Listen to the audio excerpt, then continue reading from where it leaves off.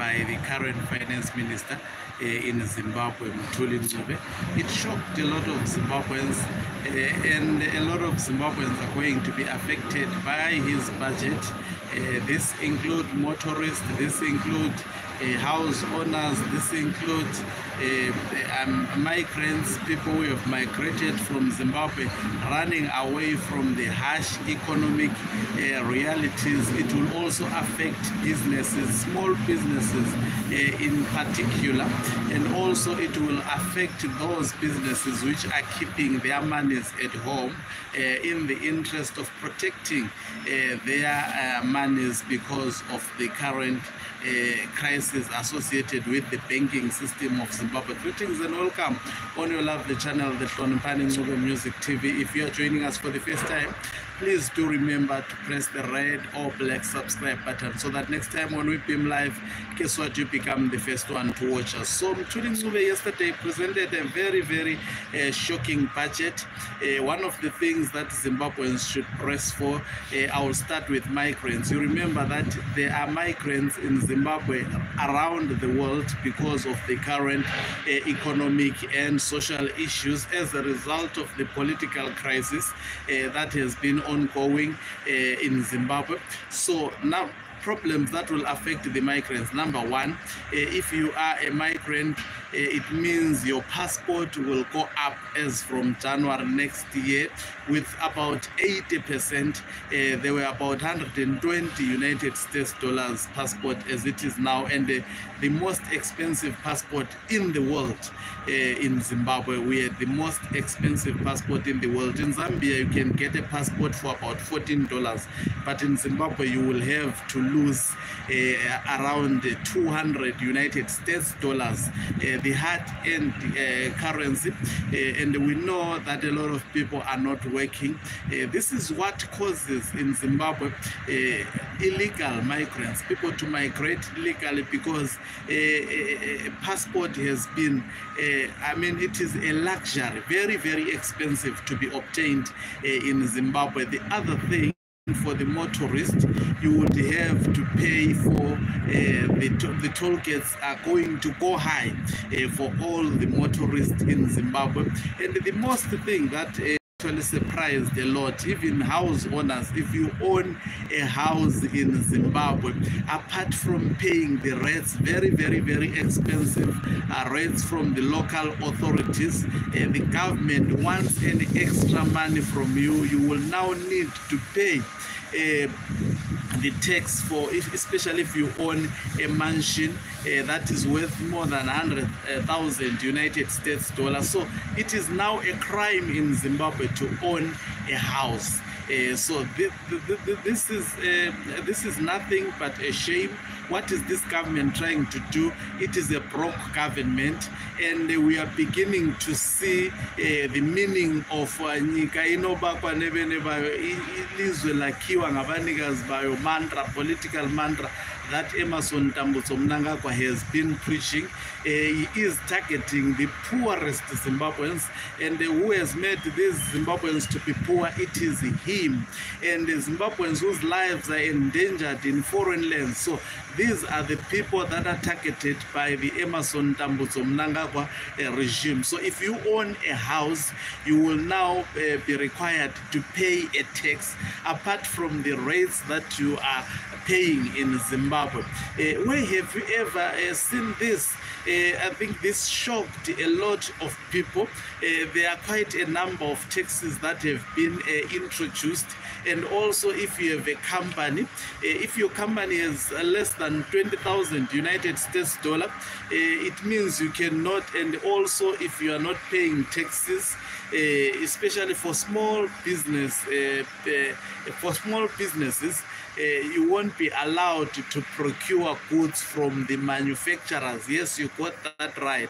You won't be allowed to procure uh, goods from the manufacturers. So we are seeing a government uh, that has upped its game in terms of ensuring that left, right, and center uh, people's monies are taken away. For example, they said uh, the, the, the, the, toll gate fees that will be increased, uh, they will make sure that they are protected uh, so that they rehabilitate and uh, build new roads, uh, inf- improve infrastructure. Do you believe in them? Have they ever said the truth?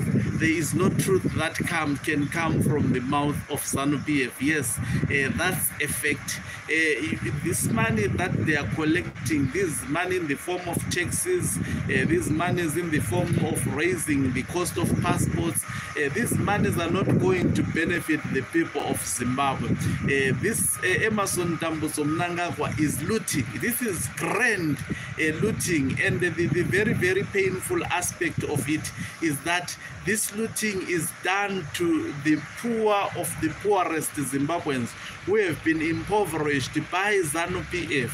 Uh, where do they expect uh, people to get money, particularly how people who own houses? People, it is a crime in Zimbabwe to own a house. It is a crime in Zimbabwe to be seen having more money, and also because uh, people in Zimbabwe have a history whereby they have been banking, putting their monies uh, in banks of Zimbabwe, and their monies just disappeared like that. And a lot of people are no longer trust the banking uh, institutions in Zimbabwe and uh, to force the people uh, to bank their monies now, uh, Zimra, according to Mthuli Ncube, would be empowered uh, to search people, to raid people's houses, and then uh, locate uh, where you put your money yourself. Uh, and if it has a password, you will be forced to produce that password and give them access to your funds so that they see that you are tax uh, compliant. So it's going to be uh, the hardest moment for a lot of Zimbabweans. I'm talking about businesses, and this definitely, these guys, they don't look at the consequences of their policies. These policies are going to scare away investors. Uh, these policies are going to to, to, to frustrate a lot of Zimbabweans uh, already living from hand to mouth. These policies are going to destroy a lot of businesses uh, in Zimbabwe. Anyway, uh, what did you expect from the people who were not elected by the people of Zimbabwe? You, you can't expect these people to be implementing pro-people policies. I think it is the worst budget in the history of Zimbabwe. There are quite a number of things that are text, a, a very, very, very primitive things that are text. Something that I think Zimbabwe has moved from being a socialist uh, to a capitalist. Almost everything uh, that you have, you will have uh, to pay a tax for it. Almost everything that you own, you will have, especially if it's of high value, you will have to pay a tax for it. You will be forced to put your monies into banks. We will see people's houses being raided, particularly if the government gets suspicious that you are keeping uh, money. So we, we, we, are seeing this Emmerson Dambudzo Mnangagwa Kakistocracy uh, government uh, led by thugs uh, upping their game uh, in terms of terrorizing uh, the people of Zimbabwe. Uh, this budget was nothing. Uh, but I think uh, it speaks volumes. 2024 is going to be a hard year for a lot of people uh, in Zimbabwe. It's going to be a hard year for Zimbabweans, it's, uh, for businesses. It's going to be a hard year for migrants. You will, you, anyway, they don't have a choice. They know that you don't have a choice, which means Zimbabwe enjoys having its people going outside the country. And now they want to milk that very, very hard earned cash, which is worked hard for. Sometimes uh, people are risking their lives, threatened uh, day and night, and all these thugs wants to do, they just want to eat for free. It is not in the interest of developing Zimbabwe. It is not in the interest of improving the livelihoods of Zimbabwe. It is in the interest of ensuring that Emmerson Dambudzo Mnangagwa get richer and richer. So this is the reality uh, of the Mthuli uh, Ncube uh, budget. If you own a car, it is a crime. If you own a house, it is a crime. Uh, if you, I mean, if you own quite a number of things and the government sees that you own those things, uh, they are coming after you.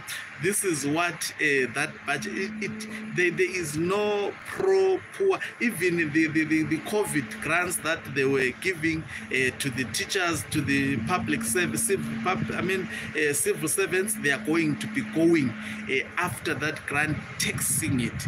And when they tax it they tell you that that that money will go towards your pensions and, and you never know whether you get it. And this is how they, they manipulate the people and i'm sure the people will see them for the who they are. It's going to be very very difficult uh, for for the people of zimbabwe to survive uh, there is nothing that spoke to industrial development. There is nothing uh, that spoke to the improvement of the economy reducing inflation. We are going to see inflation skyrocketing. We are going to see the life uh, getting very very difficult. Thank you very much for watching us. If you are watching us for the first time please do remember to press the red or black subscribe button so that next